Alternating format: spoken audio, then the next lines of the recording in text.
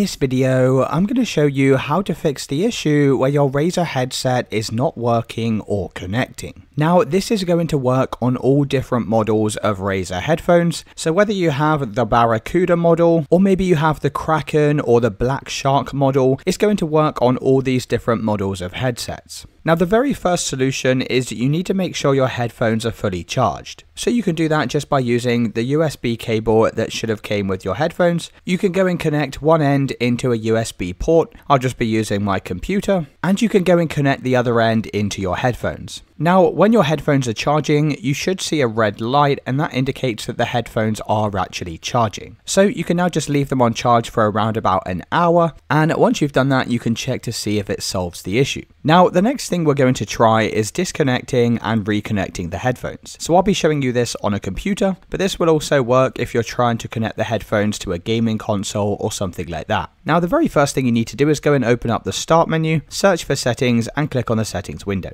In the left hand side, select Bluetooth and devices and just make sure your Bluetooth is turned on and enabled. Now, if you've previously connected your headphones, then they should appear in this list of Bluetooth and devices. So once you've found your headphones from here, you can click on the three horizontal dots next to them and then just go and press remove device. Once you've removed your headphones, go and press add device, select Bluetooth, and now just make sure your headphones are actually turned on. So we're going to hold down the power button until you see this green light. Once you see the green light on your headphones, it should turn into a blue light and this indicates that the Bluetooth is turned on. So as soon as you see this blue light, you can then go and release the power button and you should see your Razer headphones appear in this list of devices. You can go and select them to connect like so. Now, if this also doesn't solve the issue, the next thing you can try doing is installing the Razer Synapse software. So this is basically the official Razer software that allows you to control the settings on your headphones. Now to do this, go and open up an internet browser, and we're just going to type in Razer Synapse download and press enter.